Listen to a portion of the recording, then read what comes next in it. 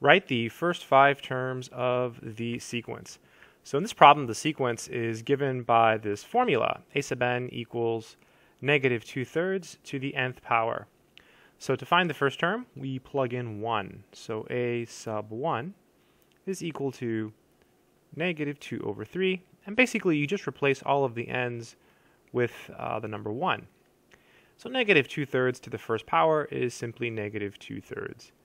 So that is the first term of the sequence. A sub 2, we simply replace all of the n's with 2's. So we have negative 2 thirds squared. And this just basically means that you square each piece. So you square the negative 2, and you square the 3. So negative 2 squared is 4, and 3 squared is 9. So we get 4 ninths.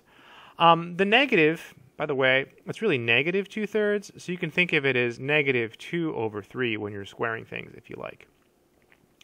a sub 3, so again, plugging in 3, we would get negative 2 thirds cubed, and this is equal to negative 2 parentheses cubed over 3 cubed.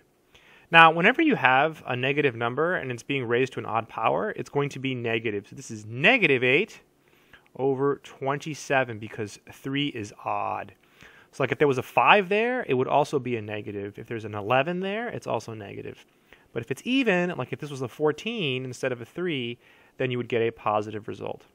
Let's go ahead and do a sub 4. In this case, we get negative 2 thirds to the fourth power. So negative 2 to the fourth power is going to be 16, because 2 to the fourth is 16. And 3 to the fourth is 81. So if you don't know what 3 to the fourth is, you can use a calculator. But another way to do it is to write it as 3 squared, 3 squared, which is 9 times 9, which, which is 81. So that would be a sub 4. And last, and certainly not least, a sub 5, this is the fifth term of the sequence. This would be negative 2 thirds, and then just replace the n with 5. So negative 2 to the fifth power is negative 32. And 3 to the fifth power is 243. So I used a calculator, I cheated. So that would be the answer there. So I hope this video has been helpful. So all you do is plug in the numbers. Take care.